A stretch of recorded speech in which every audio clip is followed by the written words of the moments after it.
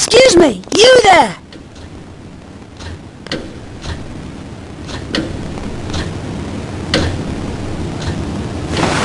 Welcome, Herschel Layton.